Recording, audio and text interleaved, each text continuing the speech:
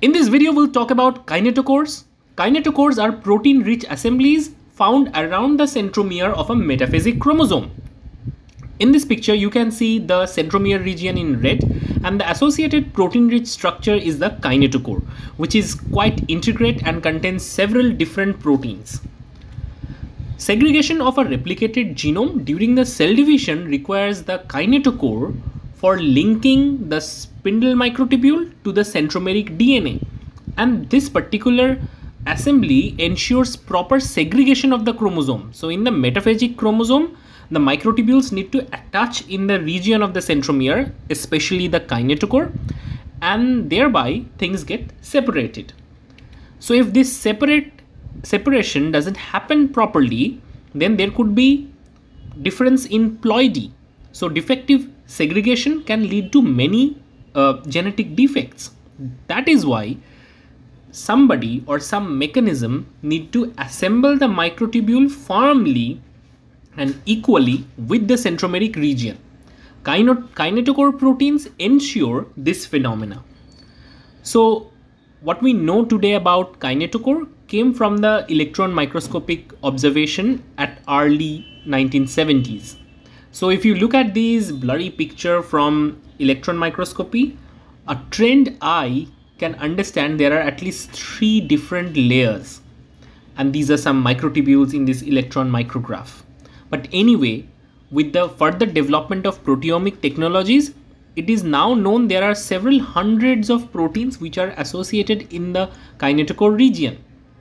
So it's a huge protein assembly and its key job is to assemble the microtubules with the centromeric region. So there are three subregions of the kinetochore, the inner kinetochore, the outer kinetochore and the uh, outer fibrous layer. The outer fibrous layer ensures it can attract microtubules towards the centromeric region.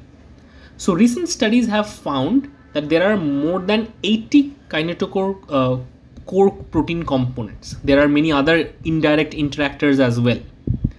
So out of the many proteins, the key protein components of the kinetochore are the NDC80 complex, the CENP-E, and the DAM1 ring complex.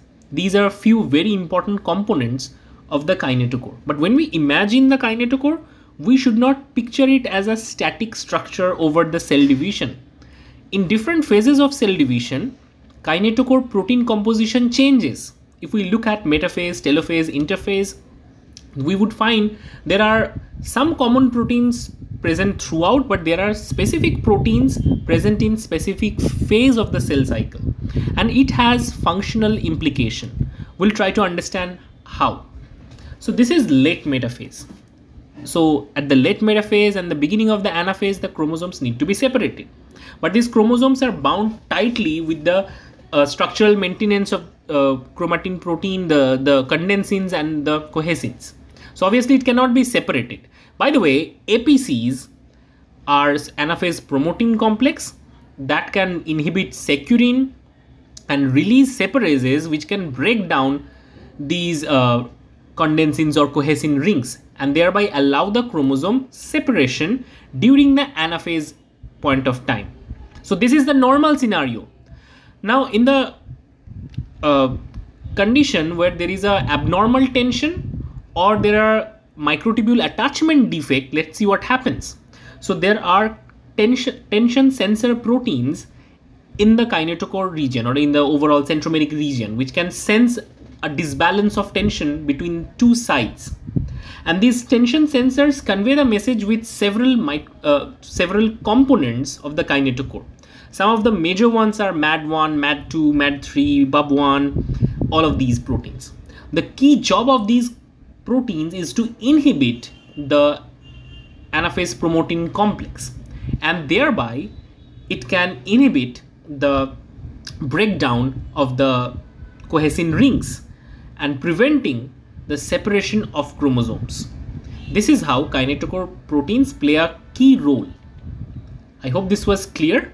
If you like this video, give it a quick thumbs up. Uh, don't forget to like, share and subscribe. You can uh, follow us on Facebook or Instagram. You can get more notes and flashcards.